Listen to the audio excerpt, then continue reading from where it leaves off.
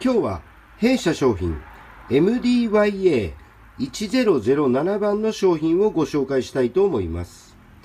こちらの商品ですが、縦が9センチ、横11センチ、下がり18センチの商品となっております。特徴といたしましては、ちりめんの生地で小さいつまみをたくさん入れて、下がりに藤の花をイメージ少し見えるグリーンがとっても印象的な商品となっております。成人式、七五三、お祝いの席などにもおすすめの商品となっております。こういった形で一色にとらわれず同じ紫の生地でも2色使い、そしてオフホワイトのつまみを入れ華やかにしてあります。中心にはゴールド白を用いまして一色では作ってないのも特徴となります。こちらが藤の花をイメージした下がりとなります。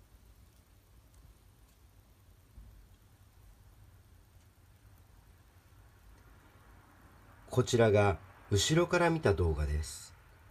こういった形で丸い厚紙に同系色の生地で当て布をしております。こちらの商品ですが消費税込み4800円送料代引手数料込みの値段となっております。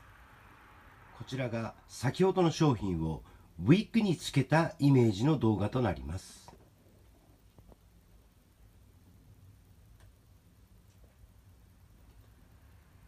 こういった形で下がりがとっても動きがある商品となります。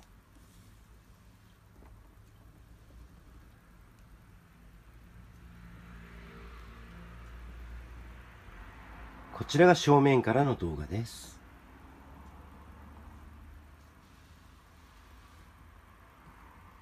少し動かしただけでもこのように下がりが揺れるのがとても特徴的です。